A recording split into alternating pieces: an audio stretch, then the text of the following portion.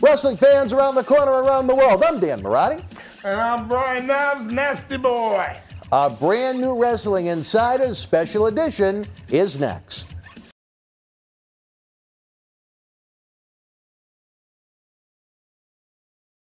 Wrestling fans, can you feel it? The ninth annual Paul Bearer Holiday Headlocks Toy Drive Cyber Fan Fest explodes into December. We can't bring you a live wrestling event in 2020, but we're bringing you a plethora of live interviews and virtual autograph signings to continue our tradition of updating Santa's GPS to find every kid's home. This Friday night, December the 11th, we're joined by the massive Warlord in studio. This Saturday, December the 12th, Native American Tatanka joins us for the toy drive for the very first time. Then this Sunday, December the 13th, it's a doubleheader of Future Star Superstars is the new Impact Wrestling World Champion Rich Swann joins us for the first time in studio in eight years, along with up-and-comer Wheeler Yuta, who recently competed in the Ring of Honor Pure Title Tournament, along with competing here in Boston Wrestling MWF.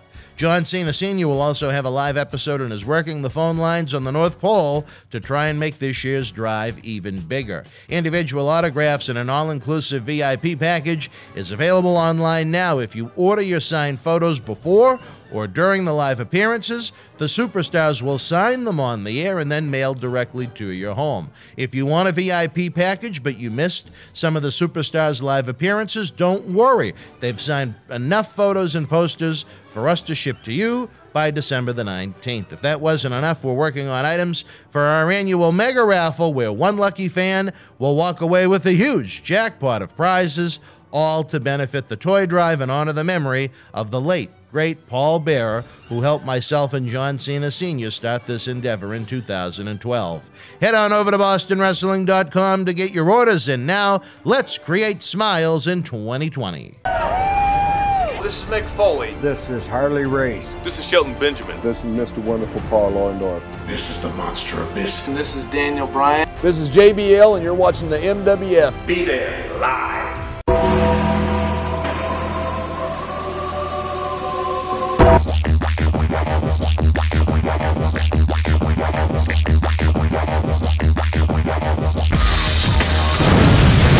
Wrestling fans, welcome to another Wrestling Insiders. Dan Marotti, happy to be joined by uh, the man of the hour right now, Brian Knobbs. Brian, it took us a while, but you finally made it to Boston and made it to the studio. Yes, I mean, especially in 2020.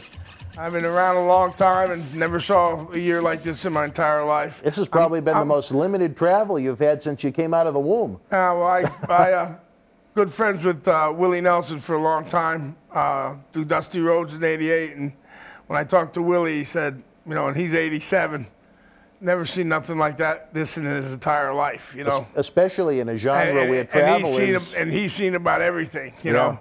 When you're up there and you've been through all kind of different stuff, but this one's just gotta listen to what's going on. That's all I can say. We keep trucking along. That's yeah, all we can do. That's, that's all we can do. And uh, next year, praying that we'll be doing this, your show. You know, We'll be doing not only in studio, yeah. but we'll be having live wrestling events yeah, exactly. too. And we'll exactly. be headed down to Tampa for WrestleMania. Oh yes. Having the big. Now, now, is that is that a? Because they were still saying L.A. Now are they definitely going to switch it back to Tampa? I don't think it's it's a definite yet, but from people that I've spoken with in Connecticut, it's uh, it's very likely. Yeah, because L- LA's uh, they have very locked down and really, very restricted yeah, no, right now. No, no uh, people at the football games or nothing. You know, if so. nothing else, Florida has been a little bit more laid yeah, back. And everybody's right down that. there, developmental uh, in Orlando. Yeah. So you know, Florida a lot, is lot almost a lot, of the boys live down there oh, too. Yeah, you know, yeah. so.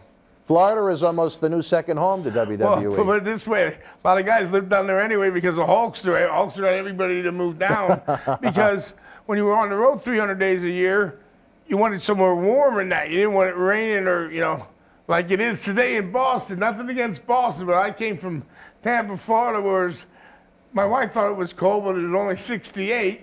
and uh, it was raining and it was freezing. And I'm glad I brought a coat this time. I'd take 68 right about now. I don't know about you. Oh, yes. I'd it was very, very, very nice. All right, wrestling fans, a lot of you uh, chimed in via Twitter, via email. You wanted to know Brian's thoughts on the passing of the late, great Pat Patterson recently, a man you worked with extensively in WWF. Yeah, that's uh, that's a hard one. He's a, he was a genius in our business. Nobody knows it. And then, uh, you know, if people could see his work back in the day when he tagged with Ray Stevens, they were unbelievable. I mean, unbelievable. You're talking 50s and 60s.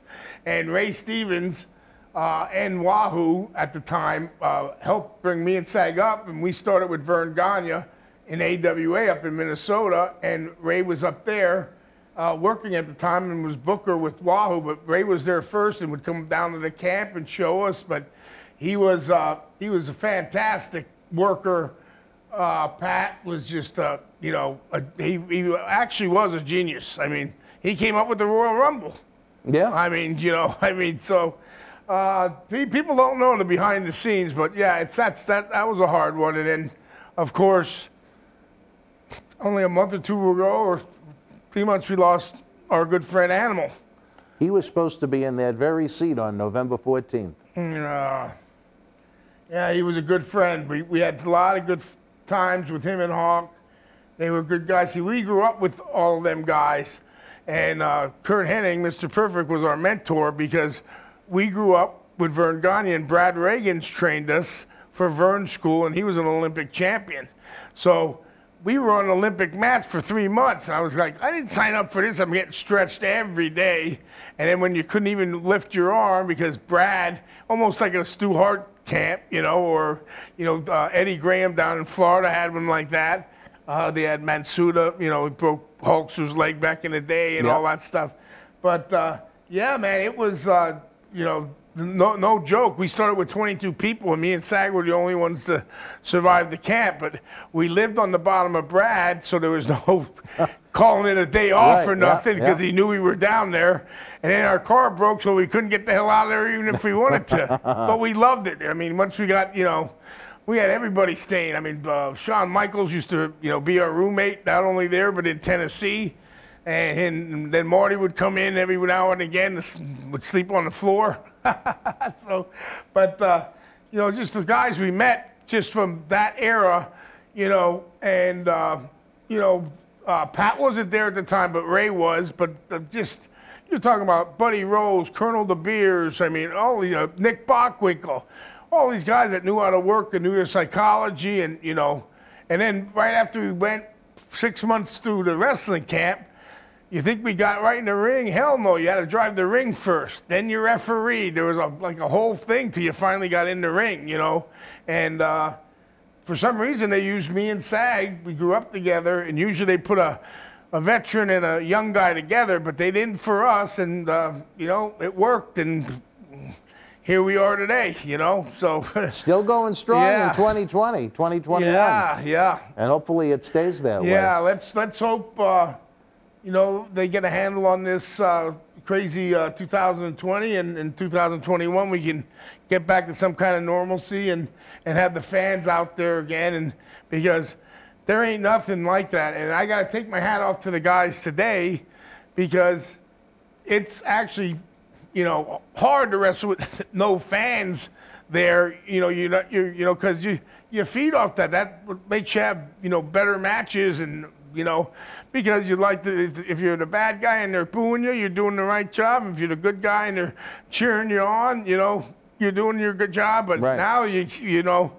it's kind of taken away. So you know, I got that. You know, take my hat off to him right away. But uh, back to Pat, he's uh, he was he was marvelous. The last time I seen him, believe it or not, was uh, at uh, Rocky Johnson's funeral.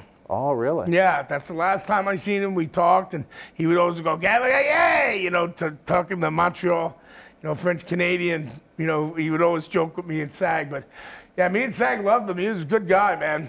He definitely was. And then He cut kind of an unusual promo at that wake, didn't he? Um, uh, oh, it was pretty crazy.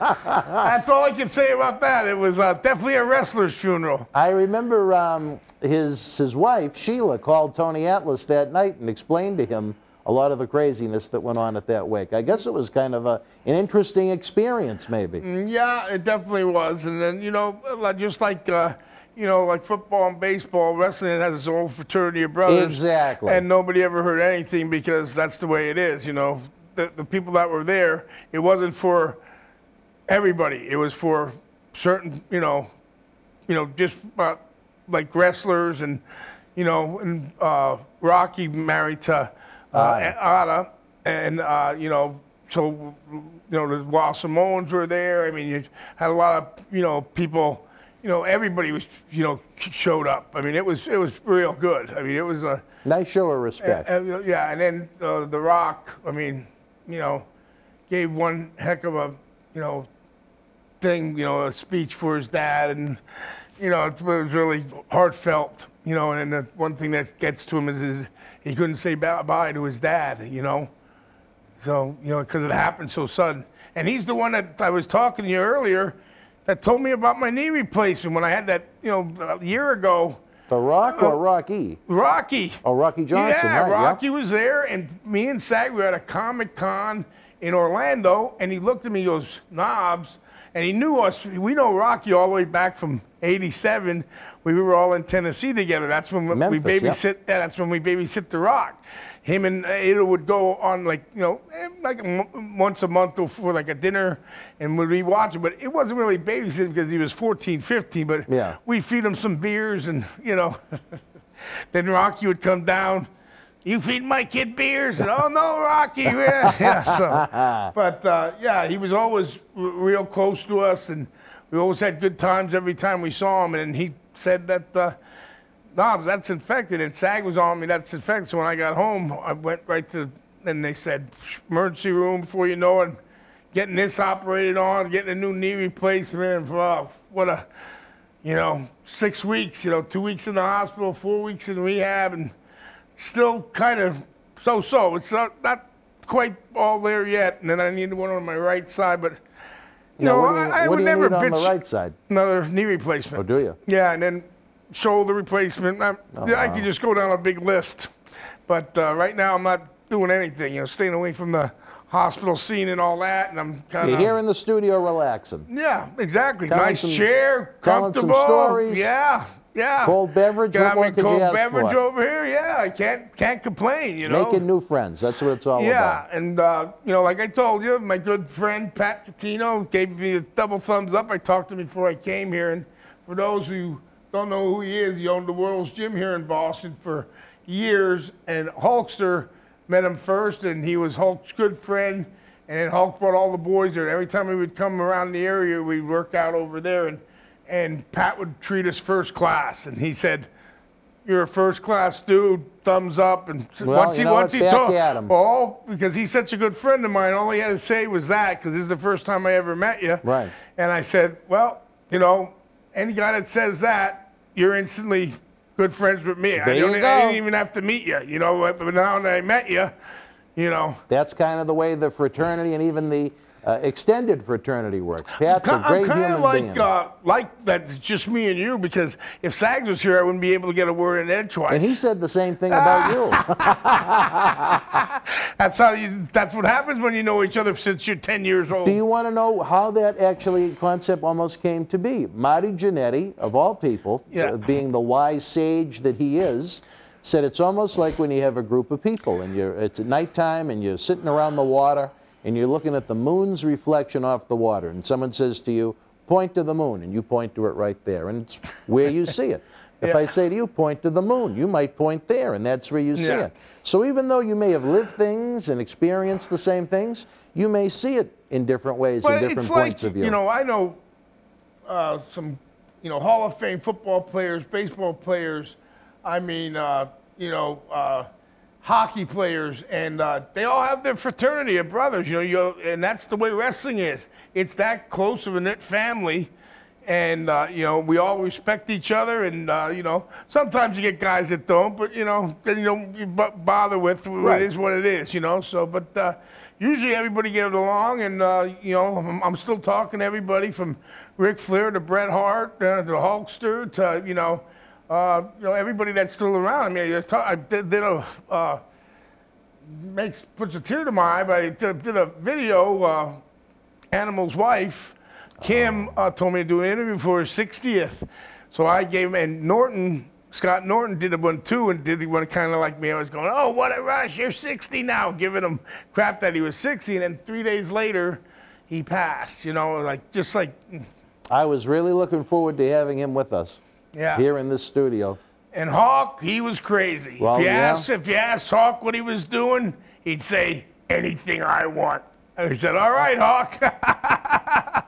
he was a good man too. But all from Minneapolis, all them guys were from Minnie. I don't you know, what was in the water up in Minnesota. No, there's you know, and Wayne Bloom still, you know, from the Beverly Brothers, Yeah. he's still he's still around, but a lot of them have passed on already. Yeah. But Barry Darsow, you know, he just moved out of Minnesota. Man, he's he's- he's uh, living with his uh, not living, but he's building a house where his, his son is. Uh, Barry uh, moved- Barry moved out of Minnesota? He moved over and bought a house on the lake uh, uh, with his son Dakota, who who's a deputy in Michigan, and up upper the upper uh, like uh, uh, I'm not sure if it's up by uh, uh, kind of like Kellogg or something like that. Barry lives in Michigan now? Yeah. I just spoke to him within Yeah. the past few weeks. He didn't mention that. Yeah, I didn't he know sold, that. He sold his business, and and I'm not sure if he moved all the way yet.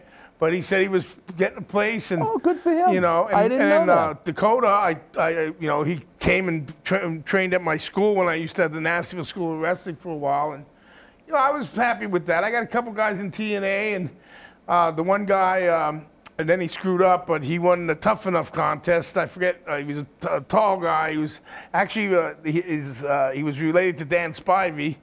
Oh, But, really? uh, he played for uh, Florida Atlantic football, and I, I taught him, and then from there, Dan got him in there to do the tough enough, and he was the one that won it. Remember? And then Stone Cold stunned him, and then something happened. I guess he the, I the drug I know exactly who you mean, but I can't think of his name. Yeah, I can picture him. And I, he was he was in my school for like six months. I'm, I, I can't remember his name. the- the but he's a nice guy. The runner-up used to wrestle for us, Luke Robinson. He was trained by Tony Atlas up in Maine. Yeah. So isn't that funny? I didn't Tony's know you had guy. a connection. How about him? He still looks great. Tony's with us every Tuesday night at 10 Yeah, I know. o'clock. Tuesdays with He still Tony. looks fantastic. I tell I you- said, you know, he's a good guy too. He's another good good friend of ours. You know? I t- eh, but you know what? It's a great thing. Again, we talk about having a platform like this studio for the guys. You know, Tony, I don't know if you're familiar what happened with his wife, but in June of 19, she had a stroke. She's been hospitalized ever since. They lost her income. They take all of her social security check except $40 every month. Then the coronavirus hits. Tony can't wrestle. Uh, he's had very few appearances outside of this TV studio. Well- the one thing that's kept him going is actually his artwork that he does. We've been able to get him some bookings from the great fans that watch these shows. So, you know, uh, uh, like I said in previously, WWE they can present history however they want to. They bought it; it's their right.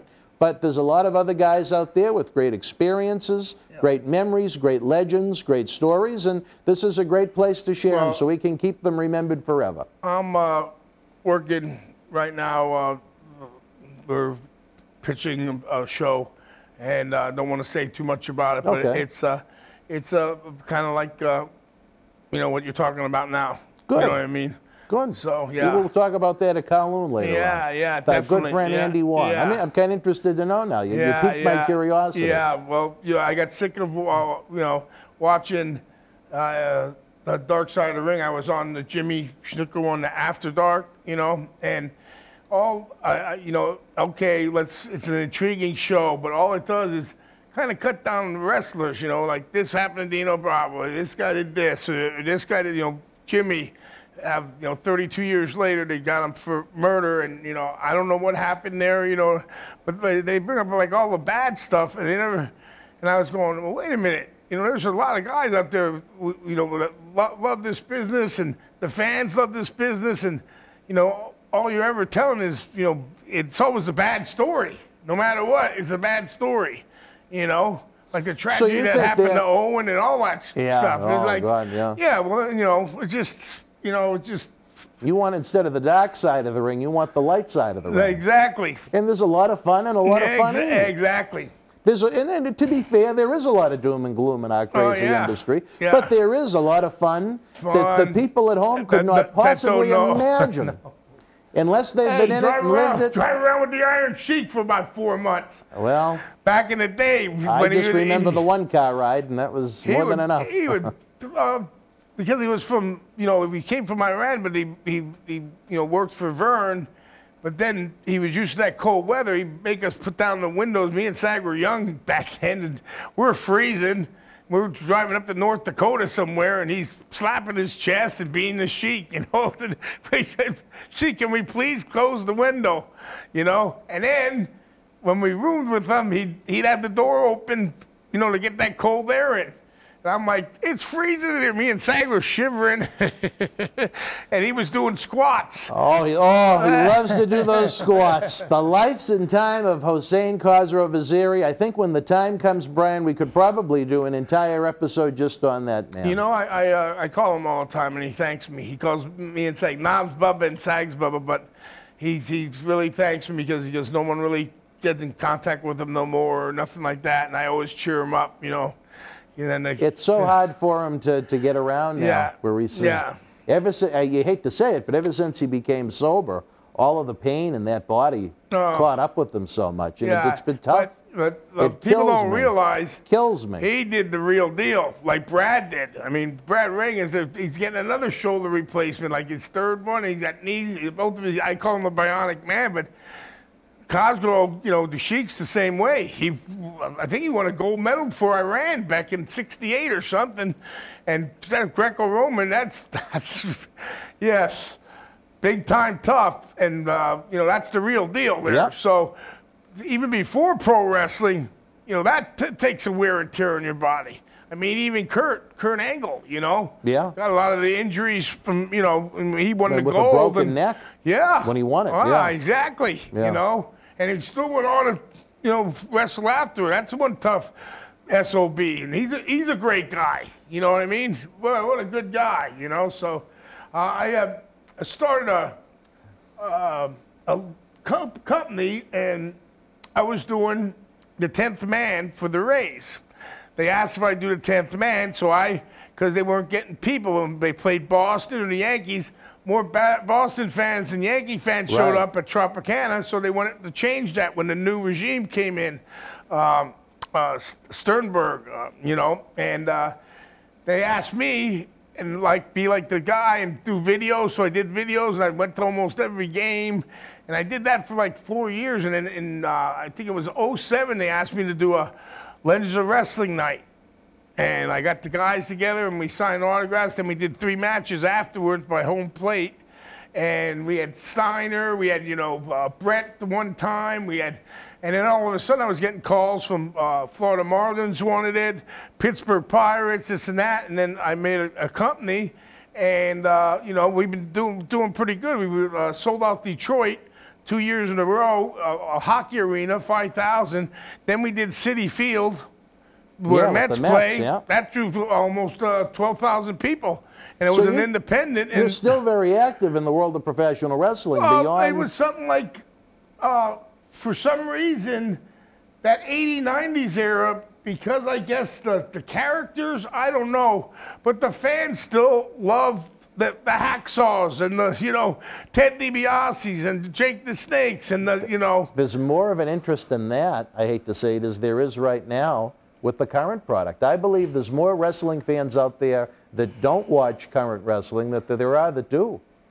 You know, the, the, the declines across the board before coronavirus. Look at WWE. Their television ratings hit rock bottom. Yeah. Merchandising was down. WWE Network subscriptions were down. Merchandising was down. And I'm a Yeah. W, proud WWE Yeah. stockholder. I want them to invest Right. the money wisely beyond someone that enjoys, you know, just watching Well, they, wrestling. def- they definitely, you know, everybody says, what's your favorite match? And us against, uh, you know, we have so many, it's hard to, to, to mention just one, but Right. the one that stands out is definitely one against the Hart Foundation, WrestleMania 7, because that's what labeled us and stamped us at the time. And even my pop, you know, uh, would say, uh, you know, I was in AWA, then we're here and there, but he never got to see that. We we were from Pennsylvania, so mm-hmm. he would just get to see the WWF. That's all he kept on saying. You're not in the WWF yet, kid. You're not in the WWF. Then we finally got there, and you know, you know, it's kind of very proud. yeah, but not when I got home. He was he would always say, "What are you doing home? Get a job." you know, the good old blue collar old man. He kept me in line all the time, and my uncle too. My uncle Reuben, another uh, crazy guy from the. There was something in the water where me and Sag grew up too, because there's a lot of. Uh, you know, crazy uh, guys, but not everybody got into wrestling. But uh, our friends that we still, you know, talk all the time and stuff like that. And you're talking, you know, we all graduated together in '81. So, man, I'm getting old. You know what's funny? I didn't know that you. I knew you and Jerry had, had quite a history, but I didn't know you went all the way back to Little League. Uh, the, Yeah, and in Little League, he had only half a tooth with a tooth missing now from the thing. and I said, what, what happened to you? And he said, My brother shot it out with a BB gun. I went, I think we're going to be friends. that was when we were 10.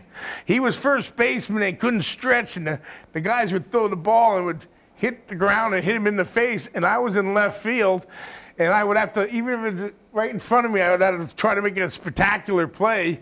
Sometimes I would drop it, and then the coach would be going, What are you doing? It was right there. Why do you have to try to dive for it? You know, I was uh, always trying to do something. But we, uh, yeah, we've been friends for a long time, and, and what's crazy is our great great grandfathers used to ride motorcycles together back in the 30s. isn't that something? Yeah. Wow. And when he came to my house, my grandmother said, Saggy, are you a Saganowich? And he goes, Yes. Was your uh, great grandfather, uh, you know, and he, and he said, Yes, uh, uh, he was. He goes, Well, he hung around with my husband. And my, my dad, my great grandfather, uh, died when he was young. He was only 30 uh, on wow. a motorcycle accident, no helmet at the time, Indian motorcycle. They were crazy back then, but uh, yes, I got some stories on that, you know, from the. But that's how close, you know, knit the the families are and That's all great. that stuff. And still yeah. friends to this day, huh? Yeah. That's something. Yeah. All right, before we go in this little uh, tidbit of uh, remembrance, any final thoughts on the great Pat Patterson? A man is. Uh, did you ever hear him sing "My Way"? Oh yeah, he He loved My He Way. He loved uh, karaoke. Oh, you get karaoke, you know, and then almost like uh, Masa Saito, he used to like singing "I Left My Heart in San Francisco." You know, and he, Oh, he was a karaoke yeah, guy, but too? he didn't, he didn't sing too good, but he was, yeah, but he was he was he loved that song, but just like well, he uh, almost left his heart at that McDonald's with Ken Patera, Oh, but that's a different story for a different well, he, time. wa- he wasn't he wasn't there. He was at the room. Ken kind of. oh, that's uh, right. He uh, was back at the room, when the police came. Yeah, That- yeah, I that's what happened. That's right. Yeah, but anyway, Pat, Pat was just a genius in this business. He's going to be missed, and uh, you know he he was he was there for a long time. I mean, he was with Vince for Since the early 80s. yeah, and and came up with the ideas and what a mind for this business. So he's you know, and he was always happy and throwing jokes and you know, good guy. was you know? he helpful to you when you guys came in? Oh yeah, oh yeah. He'd he tell right there, you know, when he watch it, he'd call you aside and, you know, tell you what's going on. You know what I mean? And we were uh, taught, you know, if you want to ask, ask some people because some of the, you know, uh, big legends and stuff won't give you advice if you don't want to ask. They're Right. not going to come up to you, but but Pat would come up to you because, you know, he was working on the other side and you know would say, hey, you should try this or maybe try that or you know. So, uh, but yeah, he was always helpful, you know. But uh, just too much, and then we lost. Uh, oh, that was I went to that funeral too, but uh, we were all signing at the main event in New York, and the guy brought me and Sag in, and he brought me and Gene and Patton, in, and them two together. Oh God, Lot of it's just funny. Oh yeah, because they're always at each other, going back and forth. You know what I mean? They're always nip, nipping at each other. And they were right next to us. Oh, they had us laughing the whole time we were signing. But you know. Oh, you uh, made it to Mean Gene services too? Oh yeah, yeah. We had tried to get him to come into the studio not too long before he passed away too. Another one who's I would have loved to have sat here and documented some of his career. You know, Oh, and the stories he has, he was around for a long time too. You know, Yeah, So, yeah. yeah, yeah. He's a Minneapolis. Minneapolis, another Minnesota guy. That's Yeah. right. Started out Yeah, as a DJ started- and wound up in the world of professional wrestling. Yes, sir. And uh, but uh, you know, it's it's just you so many lately. You know, I mean, boom, boom, boom, boom, boom. You go, what the heck? You know what I mean? I mean, even you know, we lost Bundy. We lost. I mean, we lost a lot of people this year. If you Kamala, really think about a it, yeah, Kamala, ago, we yeah. just lost him. You know, and he was a what a he was a gentle giant. Another And man I- that sat in your very seat here in this studio. Yeah. yeah. We did a nice three-hour piece with what him. What a what a nice guy. Yep, good gentle, human gentle being. giant, really really nice, and that gimmick he made some money. You know, Yeah, that- him, that him and Hogan made some money with, Oh, with- yeah. all over the place. you They know? had a big house show run Oh, yeah. during Hogan's peak Oh, in yeah. '86 and '87. yeah. Yeah. But Well- like, I, uh, like I was going to tell you though, uh, with the, uh, you know, like he's the tenth man for the race. Oh yeah. Okay. Okay, so they get me to come up here when we're playing you guys, and then it was the. I think we had this three to one. It was the fifth game. If they win it, they're going to the World Series. Well, Oh, 2008. well, okay. Yeah, yep. yeah, and they got me great seats. And Pat went with us, and we had this Rayhawk shirts. And Now, we Pat were Pat Catino? Oh, okay. Yeah, and uh, and well, we had these Rayhawk shirts made up, and I had my hair purple. And man, the first inning, some guy right in front of me threw a beer in my face, but we were only like 10 rows up from, and the other guy was asking, How did you get these seats? Because they were usually, uh, you know, season ticket holder, Right. you know, the ones that right there where you're up front. And I said, Well, they got them for us, you know. And then uh, in the seventh inning, 18 cops came up and uh, they escorted me out of uh, Fenway for my own safety because the U's were losing at the time.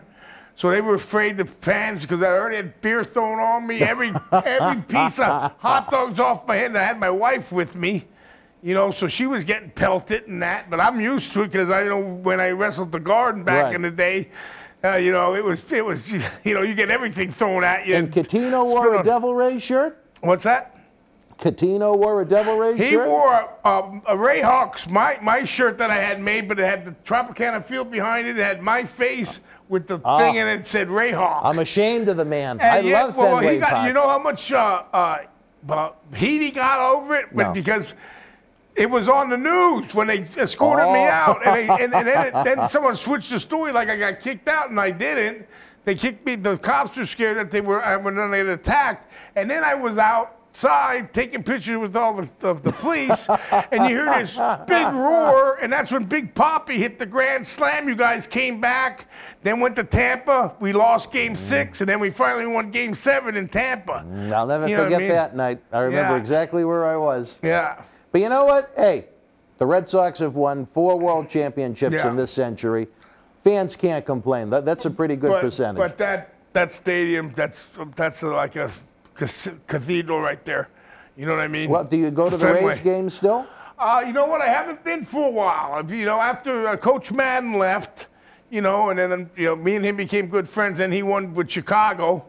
You know, uh, uh, so uh, I, I go on occasions, and they ask me to come over, but not like I was. When I was going like 60, 70 games. Oh, wow. Yeah. Oh, geez, I wish I was yeah, buddies were- with you then. I would have been going with you. Well, and then uh, uh, what's uh, your announcer? Is it Remy? Jerry Remy, Yeah, that, Rem Dog. we, we, uh, and I didn't really know him too good, but I had a, uh, one of my friends who lives from Boston, uh, Rick McIntosh, and and I we, we always would go up to see uh, Dewayne Staats and them, and he went over and introduced me to him, and I says, "Nice to meet you, sir," this and that, and my boy here from from up here, he was went totally crazy, and you know when we when we uh, when we were going downstairs, he goes, "You don't even know who that is," and I didn't at the time because we never got Boston down there, Right. you know. Unless when we played, we didn't hear the announcer. The announcer was Dewayne Staats, and I forget the pitcher that used to be there, but uh, yeah, it was a, a lot of fun. You know what I mean? It was. Uh, They used to put you on the Boston broadcasts, and Remy would commentate over you, Yeah. heckling the Red Sox Yeah, on the Boston Well, because I was always Yeah. sitting. They always had me in them good seats Yeah, on yeah, the yeah. thing, you know. But right after they got uh, won the World Series, you know, that won the World Series. After they uh, you know, played the Phillies. Yep. Well, that's where we and Sag are from. So I was getting. Then they asked me to go to Philly, and I went. Oh, I said I'm from Philly.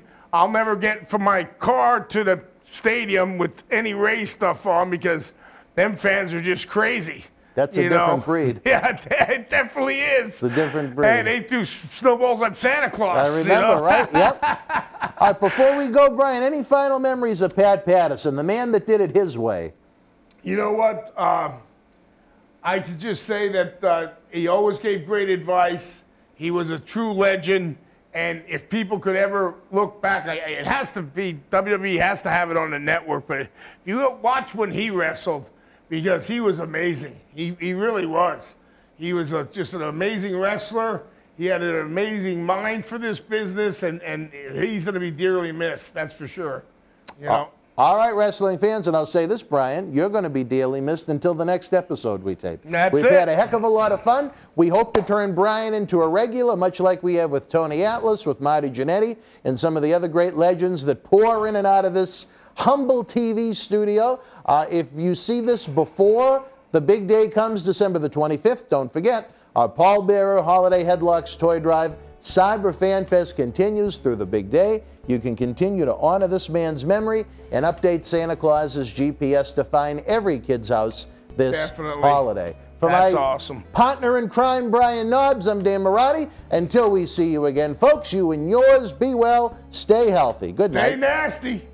Wrestling fans, can you feel it? The ninth annual Paul Bearer Holiday Headlocks Toy Drive Cyber Fan Fest explodes into December. We can't bring you a live wrestling event in 2020, but we're bringing you a plethora of live interviews and virtual autograph signings to continue our tradition of updating Santa's GPS to find every kid's home. This Friday night, December the 11th, we're joined by the massive Warlord in studio. This Saturday, December the 12th, Native American Tatanka joins us for the toy drive for the very first time. Then this Sunday, December the 13th, it's a doubleheader of Future Star Superstars. Is the new Impact Wrestling World Champion Rich Swann joins us for the first time in studio in eight years, along with up and comer Wheeler Yuta, who recently competed in the Ring of Honor Pure Title Tournament, along with competing here in Boston Wrestling MWF. John Cena Sr. will also have a live episode and is working the phone lines on the North Pole to try and make this year's drive even bigger. Individual autographs and an all inclusive VIP package is available online now. If you order your signed photos before or during the live appearances, the superstars will sign them on the air and then mailed directly to your home. If you want a VIP package but you missed some of the superstars' live appearances, don't worry. They've signed enough photos and posters for us to ship to you by December the 19th. If that wasn't enough, we're working on items for our annual mega raffle where one lucky fan will walk away with a huge jackpot of prizes, all to benefit the toy drive and honor the memory of the late, great Paul Bearer, who helped myself and John Cena Sr. start this endeavor in 2012. Head on over to BostonWrestling.com to get your orders in now. Let's create smiles in 2020.